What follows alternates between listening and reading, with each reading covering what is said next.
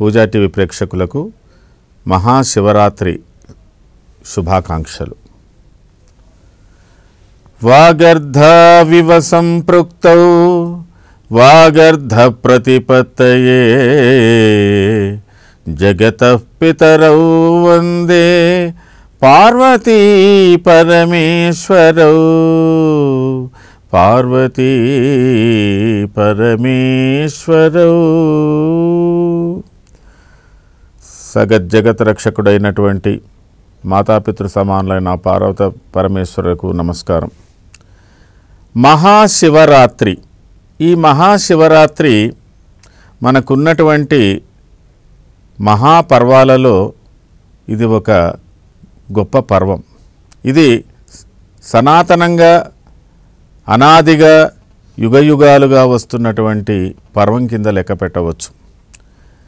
ఈ మహాశివరాత్రి ప్రతి సంవత్సరం మాఘ బహుళ కృష్ణ చతుర్దశి రాత్రి వ్యాప్ చతుర్దశి వ్యాప్తమైనటువంటి అర్ధరాత్రి సమయంలో ఈ మహాశివరాత్రి పర్వదినం వస్తుంది. ఇది అశేష ప్రజానికం. ఆ రోజు శివార్చన శివుడికి అభిషేకాలు శివుడికి ఇత్యాది కార్యక్రమాలు శివ పూజలన్నీ కూడా చేస్తుంటారు. మరి ఈ మహాశివరాత్రికి ఒక ప్రత్యేకత ఏంటంటే సాధారణంగా ప్రతి పర్వము పండగ అంటేనే మృష్టాన్న భోజనాలతో తినేటువంటిది అని మనకు తెలుస్తుందండి. కానీ ఈ పర్వదినాన ఉదయమంతా ఉపవాసము రాత్రంతా జాగరణ ఉండడం విశేషం ఈ యొక్క పర్వదినానికి. ఉదయం ఉపవాసం రాత్రి జాగరణతో కూడి రాత్రి అర్ధరాత్రి సమయంలో శివార్చన చేసుకోవడమే ఆ శివుణ్ణి అర్చించడమే ఈ యొక్క పర్వదినానికి ఈ మహాశివరాత్రికి ఉన్నటువంటి ఒక ప్రత్యేకత. అయితే మనకు శివరాత్రులు సామాన్యంగా తెలిసిన వారు విజ్ఞులందరూ కూడా మనకు ఐదు రకాల శివరాత్రుల గురించి చెప్తారండి. మనకు ఐదు రకాల శివరాత్రులు ఉన్నాయి ఒకటి నిత్య శివరాత్రి రెండు పక్ష శివరాత్రి మూడు మాస శివరాత్రి నాలుగు మహాశివరాత్రి ఐదు యోగ శివరాత్రి ఈ విధంగా ఐదు శివరాత్రులు ఉన్నాయి మరి నిత్య శివరాత్రి అంటే ఏమిటండి? ఈ నిత్య శివరాత్రి కూడా ప్రతినిత్యం శివారాధన నిశీత సమయంలో అర్ధరాత్రి వేళ ఎందు కానీ లేదా నిశీత సమయం ప్రారంభంలో చేసేటువంటి పూజ. ఇది ప్రదోషకాలాయాం పూజ అని కూడా అంటారండి. ప్రతినిత్యం కూడా నిశీతకాలంలో చేసేటువంటి యొక్క పూజ ఇది నిత్య శివరాత్రి. అది కొందరు భక్తులు ఉపాసనాపరులు చేసుకుంటారు. మరి పక్ష శివరాత్రి పక్ష శివరాత్రి అంటే ఇక్కడ పౌర్ణమికి ముందుగా ఉన్న చతుర్దశి అమావాస్యకు ముందుగా ఉన్న చతుర్దశి. మరి ఒక మాసంలో రెండు పక్షాలు వస్తున్నాయి కాబట్టి ఈ పక్షమందు పూర్ణిమ పక్షమందు అమావాస్య పక్షమందు చతుర్దశి ఘడియల్లో చేసేటువంటి శివ పూజ శివార్చన అది పక్ష శివరాత్రిగా పేర్కొనబడుతున్నది. తర్వాత మాస శివరాత్రి. ఇది అన్ని మాసముల యందు అర్ధరాత్రి చతుర్దశి అంటే ఇక్కడ త్రయోదశి చతుర్దశి గడియలతో ఉన్నటువంటి ప్రతి మాస శివరాత్రికి బహుళ పక్షమందు వస్తున్నటువంటి శివరాత్రి. ఇక మహాశివరాత్రి. ఈ మహాశివరాత్రి ప్రతి సంవత్సరం మాగ బహుళ చతుర్దశి అర్ధరాత్రి చతుర్దశితో వ్యాప్త వ్యాప్తమైనటువంటి చతుర్దశి తిథి అందు వచ్చేటువంటిది మహాశివరాత్రి. ఇది ప్రతి సంవత్సరం మాగ బహుళ చతుర్దశిలో వస్తుంది. ఇక యోగ శివరాత్రి అని కూడా ఒకటి ఉందండి. యోగ శివరాత్రి సామాన్యంగా యోగులైనటువంటి వారు యోగాభ్యాసపరులు వారి యొక్క యోగ మహత్యం చేత యోగ నిద్రలో ఉండి చేసేటువంటి శివార్చన. ఇది కొందరికే సాధ్యము అది యోగులకే సాధ్యము. అది యోగ శివరాత్రి. ఈ విధంగా మనకు పంచ శివరాత్రులలో పేర్కొనబడ్డాయి. అందులో మహాశివరాత్రి శివరాత్రి. శివరాత్రి.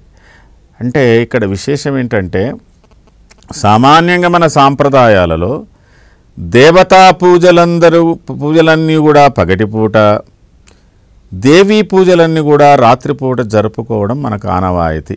దేవి నవరాత్రాలు అంటాం కానీ ఇక్కడ ప్రత్యేకంగా సాంప్రదాయాలకు విరుద్ధంగా ఈ మహాశివరాత్రి నాడు దేవతా పూజ జరుగుతున్నది. అది శివుడి అర్చన అర్ధరాత్రి పూట. మరి ఏ దేవతకు అర్ధరాత్రి పూట అర్చన లేదు. అది ఒక శివుడికే ఉంది. ఆ శివుడికి జరిగేటువంటి పూజ మాఘ బహుళ చతుర్దశి ప్రతి సంవత్సరం వచ్చేటువంటిది. మరి ఈ విధంగా ఆ యొక్క పర్వదినాన్ని మనం మహాశివరాత్రిగా శివ పూజతో కూడుకున్నటువంటి రాత్రి అది శివరాత్రిగా మనం పేర్కొంటున్నాం. ఈ విధంగా ఎందుకు అర్ధరాత్రి పూట ఆయన యొక్క పూజ జరుగుతున్నది? ఇది మనం మామూలుగా ప్రశ్న వేసుకున్నట్టయితే ఒకటి మహాకాళరాత్రి. ఒకసారి ప్రళయం వచ్చిందండి. ఆ ప్రళయంలో సృష్టి అంతా కూడా చీకటిలో కమ్మిపోయింది ఒక సుదీర్ఘమైనటువంటి రాత్రి ఏర్పడ్డది. ఆ రాత్రి కాళరాత్రి సకల చరాచరాలు సకల మానవు సకల కోటి మా ప్రాణకోటి అంతా కూడా బిక్కుబిక్కుమంటూ ఆ రాత్రి గడుపుతున్నారు. అలాంటి ఎన్నో ఎంతో సుదీర్ఘమైన రాత్రులు గడుపుతున్నారు.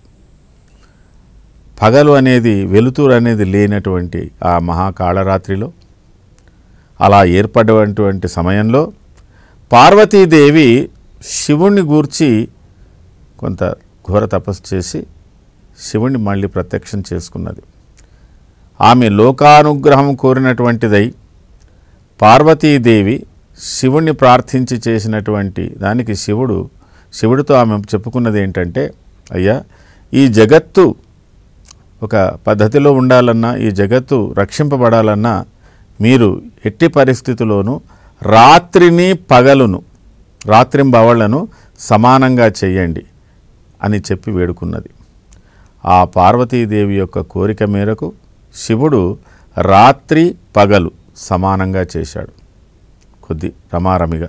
ఆ రాత్రి పగలు సమానంగా చేసినందుకు గాను ఆమె మరింకొక కోరిక కూడా కోరిన కోరింది. అది ఏమిటంటే తాను కాళరాత్రిలో అంటే అర్ధరాత్రిలో అంటే రాత్రిలో రాత్రికి శివుడి పూజ చేసి శివుడిని ఆరాధన చేసి శివుడిని మెప్పించి ఒప్పించుకున్నటువంటి ఆ పార్వతీదేవి ఎవరైనా కూడా మీ పూజ అర్ధరాత్రి చేసినట్టయితే రాత్రి భాగంలో చేసినట్టయితే వాళ్ళ కోరికలన్నీ కూడా సఫలం కాగేటట్టుగా ఆమె మరొక కోరిక కోరింది.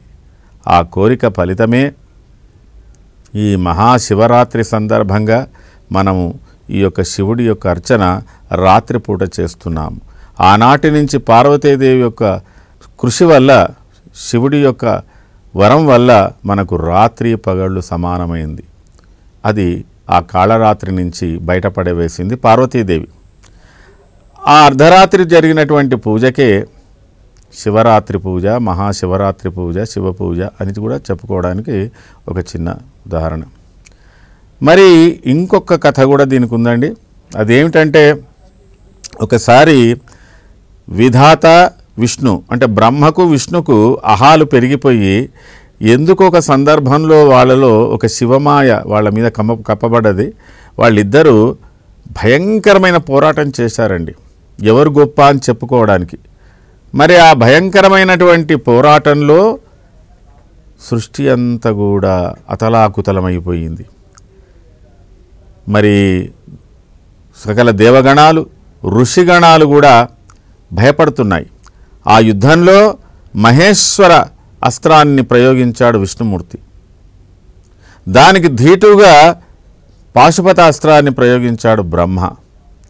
ఈ రెండు ఆయుధాల యొక్క ప్రమేయం చేత సృష్టి జగత్తు అంతా కూడా అతలాకుతలమైపోతున్నటువంటి సమయంలో ఆ భీకర పోరాటాన్ని చూసి భయపడినటువంటి దేవగణాలు ఋషిగణాలు మరి సాక్షాత్తుగా శివుని దగ్గరికి వెళ్ళి శివుణ్ణి అర్థించారు.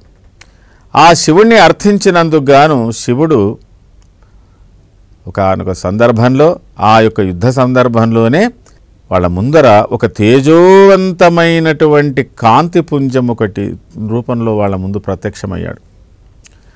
ఆ అగ్ని స్తంభం ఎలా ఉందంటే అది ఒక స్తంభాకారంగా అగ్నిలాగా ప్రజ్వలిస్తున్నది తేజోవంతంగా పెరుగుతున్నది ఆ యొక్క కాంతి. ఆ కాంతిలో ఆ ఈ బ్రహ్మ విష్ణు వ- ప్రయోగించినటువంటి అస్త్రాలన్నీ కూడా అందులో లీనమైపోయాయి. వీళ్ళకు కారు చీకట్లు కమ్మాయి. జగత్ అంతా చీకటిమయమైపోయింది. ఆ చీకటిమయంలో అత్యంత ప్రజ్వలంగా అత్యంత దేదీప్యమానంగా ప్రకాశిస్తున్నటువంటి ఆ యొక్క తేజోరూపము ఎదుగుతూ పోతున్నది. వీళ్ళిద్దరికీ ఒక ఆశ్చర్యం కలిగింది. సృష్టికర్త అయిన బ్రహ్మ కూడా ఆలోచన వచ్చింది ఎవరు? ఎవరు సృష్టించారు? ఎవరు మన ముందు ఇంత తేజోవంతంగా కనపడుతున్నటువంటి కాంతి కిరణం ఏమిటి? కాంతి పుంజం ఏమిటి అనే దాంట్లో? ఆ యొక్క కాంతి యొక్క ఆద్యంతాలు అంటే కొన చివర. ఎక్కడ ఉందో చూడాలనే ఉద్దేశంతో ఉత్సాహంతో బ్రహ్మ మొదలు విష్ణు శ్వేతవరాహ రూపంతో పాతాళాన్ని ఆశ్రయించి దాని యొక్క మూలాన్ని చూడడానికి ఆయన బయలుదేరాడు. బ్రహ్మ ఒక హంసవాహన రూపంలో ఆకాశం వైపు అంటే ఊర్ధము ఊర్ధ్వలోకానికి వెళుతున్నాడు ఆ దాని యొక్క చివ కొన ఎక్కడుందో అంటే పై ఎక్కడుందో పై భాగం చూడడానికి. ఈ విధంగా యుగాలు గడుస్తున్నాయి. అప్పుడు బ్రహ్మ చూడలేకపోయాడు. మరి విష్ణు చూడలేకపోయాడు. ముందుగా విష్ణు ఎక్కడైతే వీళ్ళు యుద్ధం చేసి ఈ పరిశోధనకు బయలుదేరారో మళ్ళీ ఆయన అక్కడికి వచ్చాడు. వచ్చి ఆయన నేను చివర చూడలేకపోయా అంతు చూడలేకపోయాని అనుకొని ఆయన హతాశుడై అలా ఉన్నాడు. ఈ లోపుగా బ్రహ్మ పైనుంచి పోతూ పోతూ ఆయన కూడా ఒక దగ్గర నిలబడ్డాడు. ఇంతలో ఆ కాంతిపుంజము చివరి భాగంలో నుంచి ఒక కేతకీ పుష్పం ఒక ముగిలి పువ్వు కింద పడ్డదండి. ఆ కింద పడుతూ అది వచ్చి వచ్చి బ్రహ్మతో కలిసింది. బ్రహ్మ చూశాడు దాన్ని. మీరు ఎక్కడి నుంచి వస్తున్నారని అడిగారు. నేను ఆ పైనుంచి వస్తున్నానని ఆ యొక్క పుష్పం చెప్పింది. అంటే మరి అది ఎక్కడ అంటే అయ్యా నేను బయలుదేరి కూడా కొన్ని యుగాలయ్యింది. నేను ఎంతో ప్రయాణం చేస్తూ వచ్చాను. నేను ఇప్పుడేదో రాలి రాలేదు. మరి ఆయన అప్పటికే ఎంతో పెరిగిపోతున్నాడు. ఇప్పుడు అది ఎంత దూరం ఉందో నాకు తెలియదు. అని చెప్ చెప్తుంది ఆ కేతకి పుష్పం. అప్పుడు బ్రహ్మ ఎందుకో ఒక అసత్యం ఆడి ఆ కేతకి పుష్పంతో ఒప్పించుకుంటాడు నేను విష్ణుకు మా మధ్యన ఈ విధంగా ఒకటి విరోధం వచ్చింది ఆ విరోధంలో మేమిద్దరం ఇలా అనుకున్నాం. అందులో మరి నేను ఆ చివర చూసినట్టుగా సాక్ష్యం నేను చెప్తాను నువ్వు సాక్ష్యం పలుకుతావా? అంటే ఆ పలుకుతా అంటుంది ఆ పుష్పం. మొత్తం మీద బ్రహ్మ విష్ణు ఒక దగ్గర కలుసుకున్న తర్వాత మీరు చూశారంటే నేను చూడలేదంటే బ్రహ్మ చెప్తాడు నేను చూశాను దీనికి సాక్ష్యం ఈ కేతకి పుష్పమని ఆ కేతకి పుష్పం కూడా నిజమే చెప్తుంది. అంటే నేను చూశాను అతను చూశాడని చెప్తుంది. అది అక్కడ అర్థ అర్థం. అంటే ఒక అసత్యాన్ని సత్యవంతంగా చేసింది ఆ కేతకి పుష్పం. ఇంతలో వీళ్ళిద్దరు కూడా ఆ యొక్క తేజరూపంలో నుంచి పరమశివుడు సాక్షాత్కరించాడు. ఆ పాతాళ భువన బ్రహ్మాండమా విస్ఫుర జ్యోతి స్ఫాటికలింగమౌళి విలసత్పుణ్యేందు అలాంటి పాతాళాన్ని భూలోక అన్ని కూడా ఆద్యంతాలన్నీ అంటే ఆ- ఆ విధమైన ప్రకాశవంతమైనటువంటి యొక్క ఆ స్ఫుర ఆ యొక్క జ్యోతిలో నుంచి శివుడు ప్రత్యక్షమయ్యాడు. శివుడు ప్రత్యక్షమైనందుకు గాను ఏం చేశాడంటే బ్రహ్మ ఒక అబద్ధం ఆడినందుకు భైరవుని సృష్టించి ఆ బ్రహ్మ మీదికి ప్రయోగిస్తాడు. ఆ భైరవుడు బ్రహ్మ ఆయనకు అంతకుముందు ఐదు తలలండి. ఆ ఉన్న ఐదు తలలు ఉన్నటువంటి బ్రహ్మను ఒక తల నరికేస్తాడు. అప్పుడు ఆయన మొరపెట్టుకుంటాడు శివుణ్ణి. మరి విష్ణుమూర్తి కూడా ప్రాధేయపడతాడు ఆ బ్రహ్మ బాధను చూసి ఏ విధంగా నన్ను నివారించమని చెప్ వీళ్ళు ఇద్దరిని ఈశ్వరుని కోరినట్టయితే కోరే కోరుతారు. ఆ సందర్భంలో ఈశ్వరుడు వాళ్ళ యొక్క మొరను ఆలకించి భైరవుని ఆ బ్రహ్మకు నాలుగు ముఖాలుగా ఉండేటట్టుగా చేసి వాళ్ళలో అహం చల్లారింది కాబట్టి మరి బ్రహ్మకు ఏంటంటే అసత్యమాడినావు కాబట్టి నీకు బ్రహ్మలోకం అంటే ఇక్కడ మీకు పూజలు ఆలయాలు ఇలాంటివి ఏమి ఉండవని చెప్పడం. మరి అందుకు గాను దానికి మళ్ళీ ఆయన ఒక ఇంకొక ప్రతి పరోక్షమైనటువంటి వరం ఏమిస్తారంటే ఎక్కడైనా యాగాలు యజ్ఞయాగాలు జరుగుతున్నప్పుడు మొ మొట్టమొదటి మీకే పూజ జరుగుతుంది. మీరు బ్రహ్మ లేని పూజ ఆ యాగము అది నిష్ఫలం అని చెప్పి ఆయన ఒక మళ్ళీ ప్రత్యేక వరం ఇస్తాడు. మరి ఆ యొక్క అసత్యానికి పుష్పజాతికే కళంకం తెచ్చినటువంటి ఈ మొగిలి పువ్వును కూడా శపిస్తాడు. నువ్వు నాకు పూజార్హురాలు కావని చెప్పి. మరి దానికి మళ్ళీ ఒకటి ప్రత్యామ్నాయం ఏం చెప్తాడంటే నా భక్తులు మళ్ళీ ఆ యొక్క నేను ఉపయోగించుకోవచ్చు. చివరికి నా పూజలో నువ్వు ఆచ్ఛాదనగా కూడా ఉండవచ్చు అన్నట్టుగా కూడా ఇట్లా అంటే ఇవి చాలా పెద్ద కథలండి ఇవన్నీ మనం సంక్షిప్తంగా చెప్పాలనుకున్నాం కాబట్టి. అయితే ఆ విధమైనటువంటి ఏదైతే తేజోవంతమైనటువంటి కాంతిని ఆ ఈశ్వర రూపాన్ని మొట్టమొదలు బ్రహ్మ పూజిస్తాడు తర్వాత విష్ణు కూడా పూజిస్తాడు. అలాంటి సమయంలో ఆ రాత్రి సమయంలో బ్రహ్మ మొదట పూజించినటువంటి ఒక రాత్రే శివరాత్రి మహారాత్రి మహాశివరాత్రిగా శివార్చన జరిగినందుకు కానీ మహాశివరాత్రిగా అని చెప్పుకోవడానికి ఒక రెండు ఆధారాలు అట్లా ఉన్నాయి. ఉన్నాయి. చాలా కథలు ఉన్నాయి బ్రహ్మాండ పురాణంలో లింగ పురాణంలో మరి స్కంద పురాణంలో చాలా వివరాలు వస్తుంటాయి. అవన్నీ ఇక్కడ మనం చెప్పడానికి అసాధ్యం కాబట్టి శివరాత్రికి ఒక ప్రత్యేకత ఆ విధంగా ఉంది. శివరాత్రి నాడు పూజలు అంటే మరి ఏ వాటి యొక్క వి శివరాత్రి యొక్క విశిష్టత తెలియకుండా కూడా శివ పూజలు చేసి బయట మోక్షాన్ని పొందినటువంటి వాళ్ళు ఉన్నారు. అప్ర అంటే ప్రత్యక్షంగా కాకుండా పరోక్షంగా. వాళ్ళకి శివరాత్రి అని తెలియదు శివ పూజ చేయాలని తెలియదు. కానీ కాకతాళీయం జరిగినటువంటి సంఘటనలో కూడా మరి వాళ్ళు మోక్షాన్ని పొందుతారు. అందులో గుణనిధి అనేవాడు ఒకడు. గుణనిధి అనే బ్రాహ్మడు. మరి అతిగా అన్ని సకల విద్యలు ఆర్జించినప్పటికీ కూడా తల్లి గారాభం చేత తండ్రితో విరోధం చేత అతను సకల దురాభ్యాసాలకు లోనై జీవితాన్నంతా కూడా ఆ యొక్క వ్యసనాల బారిన పడి అప్రయోజకుడుగా మారి చివరికి ఒక దొంగగా మారి తన తండ్రి చేతికున్నటువంటి త ఒక రాజముద్రిక అంటే రాజు ఇచ్చినటువంటి ఉంగరాన్ని ఒక వేశ్యకిచ్చి ఆ వేశ్య రాజుగారి యొక్క దర్బార్లో నృత్యం చేస్తున్నప్పుడు ఆ వేశ్య చేతికున్నటువంటి ఆ ఉంగరాన్ని చూసి ఆ విధంగా గుణనిధి ఎవరు? ఆ ఆ యొక్క గుణనిధికి ఓ శిక్ష పడుతుందండి. ఆయనకు దేశ బహిష్కరణలో జరుగుతుంది. ఆ శిక్ష పడినటువంటి గుణనిధి తప్పించుకోవడానికి తనను వెంబడిస్తున్నటువంటి రాజభటులను తప్పించుకోవడానికి ఒకరోజు శివాలయంలో ప్రవేశిస్తాడు. ఆ రోజు మహాశివరాత్రి. ఆ మహాశివరాత్రి సందర్భంగా అనేక పూజలు జరుగుతుంటాయి. అతను భయంతో ఆ యొక్క శివాలయంలో ఎవరికి కనపడకుండా దావుకు దాచుకుంటాడు. ఆకలి బాధ కూడా కలుగుతుంది. నాలుగో జామలో జరుగుతున్నటువంటి పూజను చూస్తాడు. అప్పుడు ఈ దేవతా పూజ చేసినటువంటి వాళ్ళు నివేదనలు అర్పిస్తారు. కాస్త విశ్రాంతి తీసుకుంటున్న సమయంలో ఆ యొక్క దేవాలయంలో మినుకు మినుకుగా ఉంటున్నటువంటి దీపాన్ని మళ్ళీ తన యొక్క దో తన యొక్క కట్టుకున్నటువంటి వస్త్రం నుంచి ఒక దా దారాన్ని తీసి అంటే చించి ఒక ఒతిలాగా చేసి ఆ దీపాన్ని ప్రజ్వలింపజే తిరిగి ప్రజ్వలింపజేస్తాడు. అక్కడ ఉన్నటువంటి ఆహార పదార్థాలను కొన్ని దొంగలించి భక్షిస్తుంటాడు. అతనికి దొంగ అనే ముద్రపడి మళ్ళీ అతను పట్టించి రాజభటులకు ఉపయోగిస్తే ఆ రాజుడు అతనికి ఒక కఠినమైన మరణశిక్షనే విధిస్తాడని కూడా ఉంది. మరణశిక్ష విధిస్తారు. ఆ మరణశిక్ష విధించిన సమయంలో యమదూతలు వస్తారు శివదూతలు వస్తారు. అప్పుడు శివదూతలు యమదూతలతో వారించి ఇతనికి మోక్షం కలిగింది.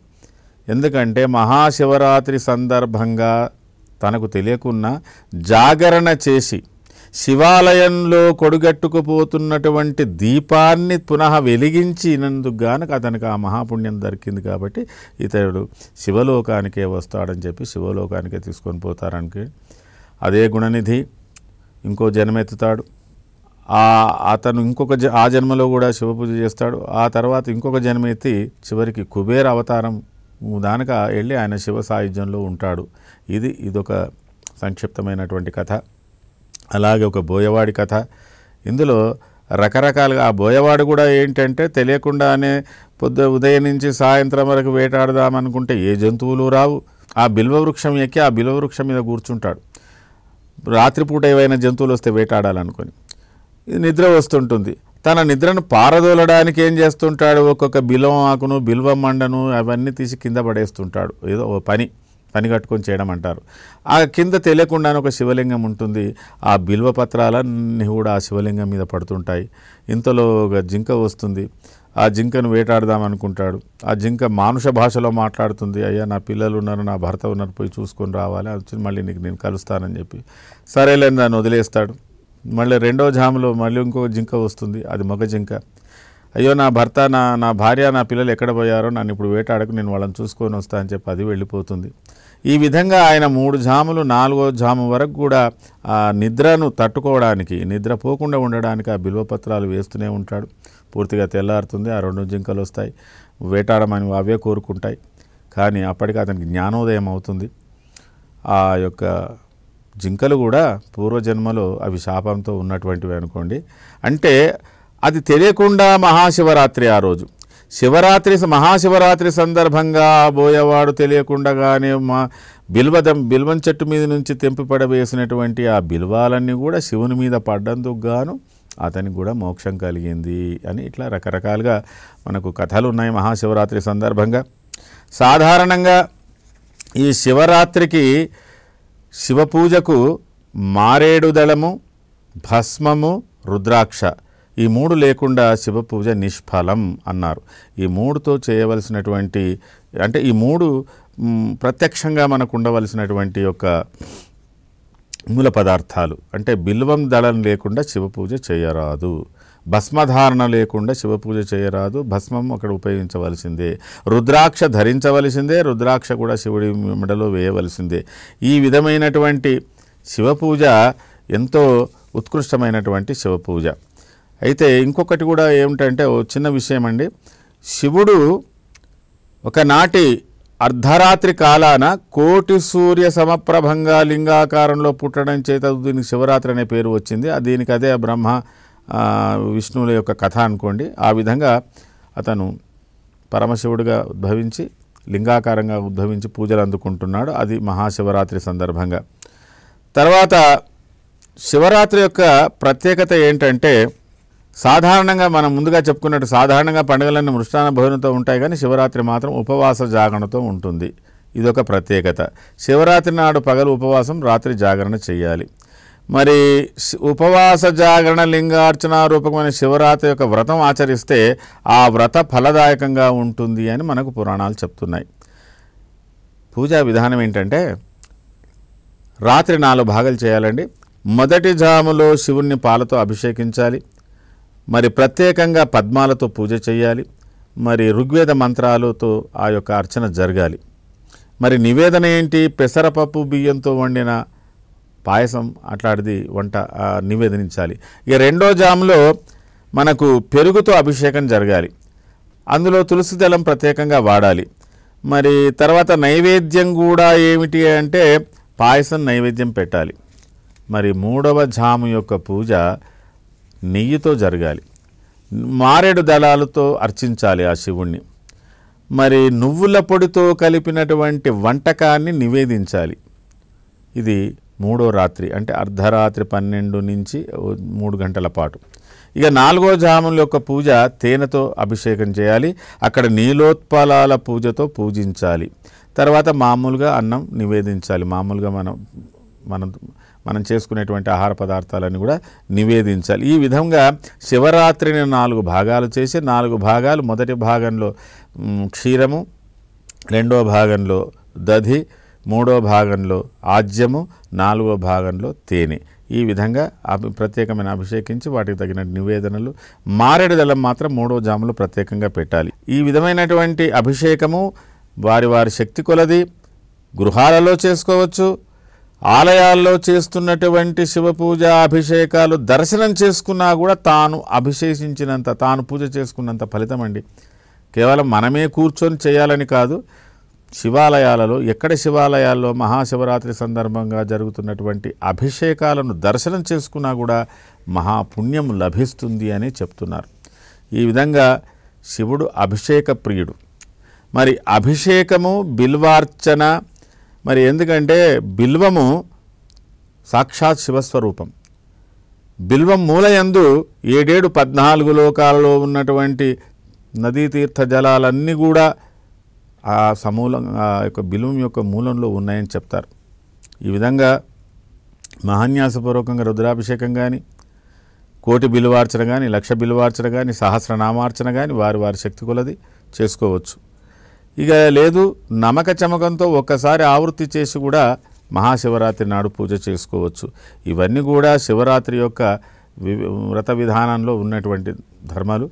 అవి వారి వారి శక్తి కొలది చేసుకోవడానికి అవకాశం ఉన్నది.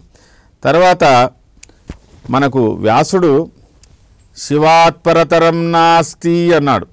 ఎందుకంటే బ్రహ్మ అయినటువంటి వాడి యొక్క శివ పూజ చేసినాడు. బ్రా అంటే బ్రహ్మ తొలిగా శివ పూజ చేసినాడు కాబట్టి మరి ఇది అనాదిగా నడుస్తున్నటువంటిది అది కాబట్టి శివాత్ పరతరం నాస్తి. అందుకే జన్మకో శివరాత్రి అనడం అనేది ఇదేనేమో అనిపిస్తుంది. ఎందుకంటే మరి పన్నెండు మాసాలలో గాని నిత్య దేవతార్చన జరపనివాడు కూడా ఏ రోజు ఏ పూజ చేయనివాడు కూడా మహాశివరాత్రి నాడు ప్రత్యేకంగా శివుడిని దర్శనం చేసుకొని అర్ధరాత్రి సమయంలో శివుణ్ణి అభిషేకించిన శివుని అభిషేకం చూసిన శివార్చన శివనామం జపించినా కూడా మరి సంవత్సర కాలం పాటు అతను పూజ చేసినంత ఫలితం పొందుతాడు అని కూడా మనకు చెప్పారు కాబట్టి మహాశివరాత్రి సందర్భంగా మరి ఎవరైనా కూడా అర్ధరాత్రి యొక్క అభిషేకాలలో పాల్గొనడం మంచిది చేయడం మంచిది.